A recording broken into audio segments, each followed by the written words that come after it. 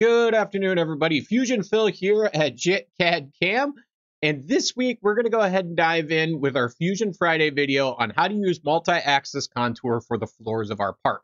Now, we did do a video a few weeks ago, and we did that for the walls of our part, so feel free to go check out that video. And let's dive into this.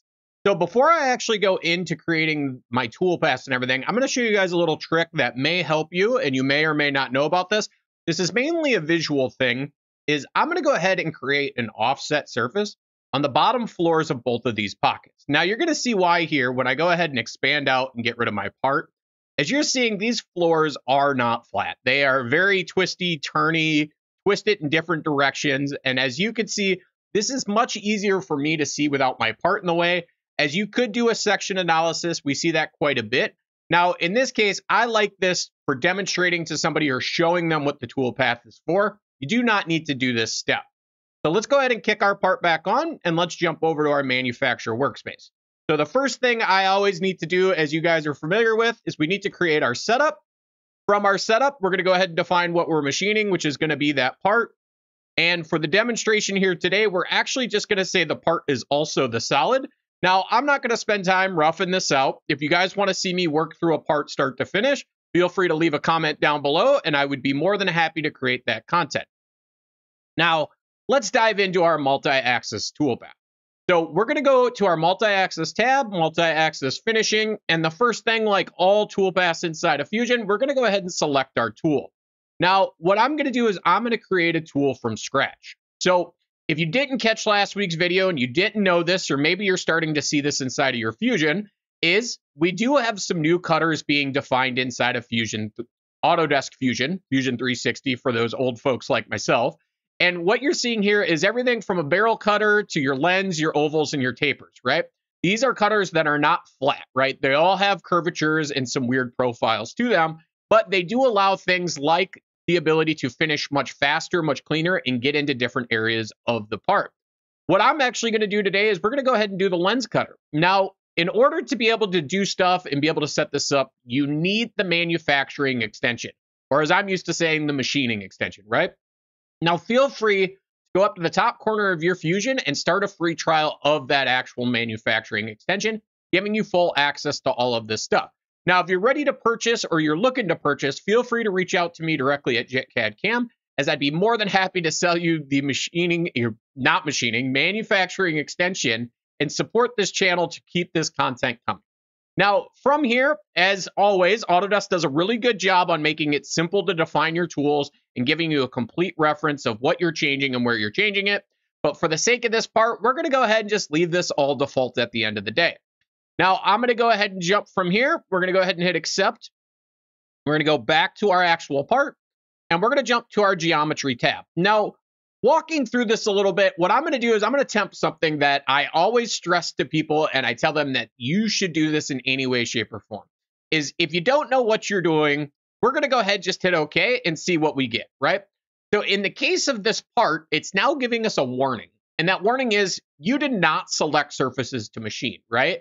And well, in multi-axis finishing, everything is starting to be driven from surfaces, right? This is kind of a nice thing about this toolpath is we're no longer basing things on a boundary of a sketch or an edge. We're actually defining things based on surfaces.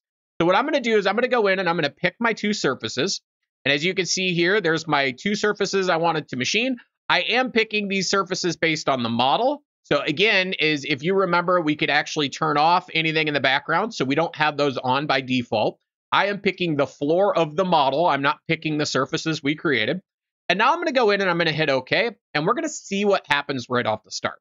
Now, as you can see, I did get a warning and a little bit of an error message. Step over is too big for the barrel profile. Again, this is something nice of Fusion, and this is something that I'm not going to say, but I've used plenty of softwares that don't tell you what's wrong.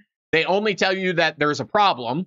Fusion does both, right? There's a problem, and your solution is is you cannot take that size step over. So like all toolpaths, we jump over to the fourth tab. We go ahead and change our step over. I'm just going to cut it in half and see what I get. And now as you're seeing here is we do have our full multi-axis finishing strategy. Now what you're going to notice is this is very familiar looking, right? This looks a lot like, if you can guess it, a scallop toolpath. And that's because for the most part, it is at the end of the day, right? So we've seen this scallop toolpath branch out in different areas and do different things, right? Like I used to love scallop for finishing molds out. Then that jumped over to the steep and shallow because now I get scallop plus contour. And then you start jumping into things like geodesic, which we're going to see why all these toolpaths are so important and the control you're going to start to see and get across here, right? So if you haven't used geodesic yet, it does something called being able to utilize surfaces and guide curves. Again, as you're seeing here in multi-axis finishing, we could actually give something like this part guide curves. And what you're going to see is based on each boundary, I'm going to go ahead and actually define a couple of curves here, right? So I want that curve, and then I'm going to use this curve. And again, we can go ahead and hit OK. And now what you're going to see is the strategy is going to change, right? So again, as that toolpath is trying to follow the curve, and is kind of starting to generate what would be considered a parallel toolpath. Again, we are starting to utilize the strategy to do different things, and we're being able to do that by doing nothing more than giving it a set of curves and surfaces to work off of. I'm going to go ahead and hit Control Z to undo that because another really neat feature here is if we go over to our passes tab, you're going to notice we have the traditional, same as scallop, right? Climb conventional in both ways, and now we can kick on spiral. And what spiral is going to do now is it is going to spiral, continuously stepping over as it gets further and further out of this part. Again, allowing us to create one continuous toolpath, adjust that, add guide curves as possible to change the way this toolpath is going to interact with the part. So now that we have that, I'm going to go ahead and do that trick real quick. We're going to go ahead and kick off our part and kick on those surfaces. As you guys can see in real time now, I'm going to go ahead and hit simulate. Now, keep in mind, we're going to go ahead and do a tail. And I'm going to do a viewpoint from the tool because I think it's going to show this much better. For a lot of you out there, you're probably using Machine Sim. This is just to demonstrate what this tool is doing as it's constantly using that lens area of the tool with a little bit of tilt and it's constantly machining, right? Now, what is the value of a lens cutter over, say, a ball end mill? Now, some of you are going to know this and some of you aren't. And the idea is, is the size of this radius on the tip of the tool is so much larger than you could ever fit a ball end mill inside of this pocket, right? So my surface on the floor of this part is going to be night and day difference. Now, I may be in hunting of a better surface finish, or a faster toolpath time. And that's where the lens cutter will actually give me both, right? Because I don't have a two inch ball end mill down in a pocket that doesn't fit. I have this nice small profile tool that's getting all the way back in my corners as you guys were starting to see there. But it's also giving me that surface finish based on scallop height that is night and day difference for a finish at the bottom. Again, we may have to adjust a few more settings and all of that, and we're going to let this run through. And again, we have that full five axis tilting. And you can see I'm doing almost minimal things on this toolpath, and I'm getting extremely well built out design. Well, not design, but a well built out toolpath that basically is going to function as it was intended to do. So I'm going to go ahead and exit simulation. Again, as you guys see, we can play around with this a little more. You do have some additional settings here, as most of you may know. We can go into our multi-axis tab like we did last week, change to lead in contact, change our contact point, what percentage of the tool is actually engaging. Again, we adjusted a lot of this at the end of the day when we were doing our tool settings last week. Now, I'm going to go ahead and jump over out of this because I'm going to take this exact same toolpath that you see here. We're going to make a couple modifications.